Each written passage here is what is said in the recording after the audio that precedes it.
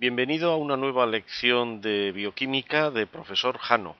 Hoy nos vamos a ocupar de la formación de las grasas, que en realidad no es otra cosa que un caso particular de la formación de un enlace tipo éster.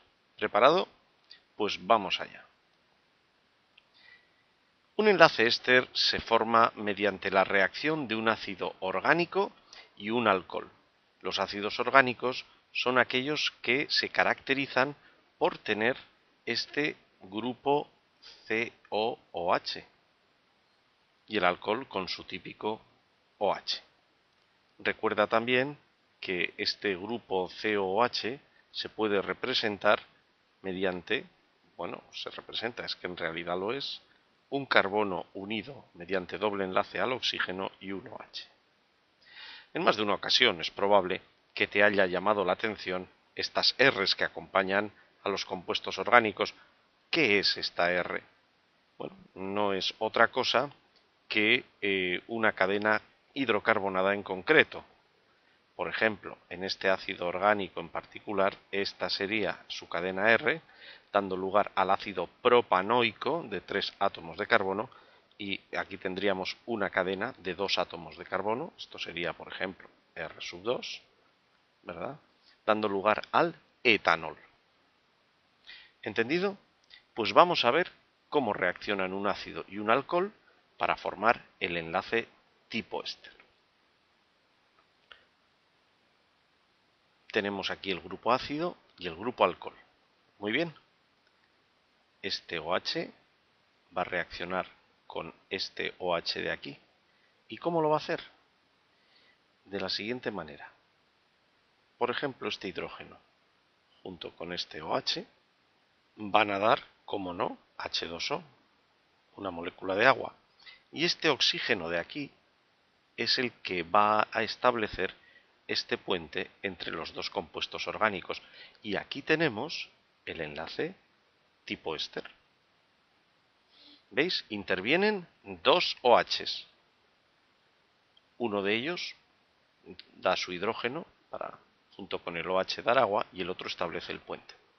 Veámoslo en nuestro caso concreto, en donde el ácido propanoico reacciona con el etanol para dar qué? Para dar, como no, este compuesto, a ver qué tal me sale la letra con la tarjeta gráfica, para dar propanoato de qué? De etilo, claro, ya que proviene del etanol. ¿De acuerdo? Veamos ahora el caso particular de la esterificación en la formación de una grasa, ya que es un caso concreto, como ya te he dicho. En él, un alcohol muy particular, ahora va a aparecer su nombre aquí abajo. El alcohol es este de aquí, es un polialcohol, tiene tres grupos OHs y es el glicerol, es este de aquí, va a reaccionar pues con uno o con dos o con tres ácidos grasos. Según cuál sea esta cadena R1 tendremos un ácido graso u otro. ¿Y qué va a suceder? Va a suceder que este OH, como ya hemos estudiado, reacciona con este de aquí y se forman los enlaces tipo éster y una molécula de agua por cada enlace formado, es decir, en este caso 3, ya que se ha formado un triacilglicérido, una grasa con tres ácidos grasos. En otras ocasiones tan solo podrían ser dos, los ácidos grasos, en ese caso tendríamos un diacilglicérido, y si solo fuese uno tendríamos un monoacilglicérido. Y ahora vamos a ver la formación de un triacilglicérido en concreto, que va a ser la triestearina, es decir, la grasa formada tras la esterificación del glicerol con tres ácidos esteáricos. Aquí tenemos el ácido esteárico. Como puedes ver, tiene 18 átomos de carbono. Son muy largos los ácidos orgánicos. 16 CH2 más este de aquí y este de aquí, en total 18. Se forma la esterificación.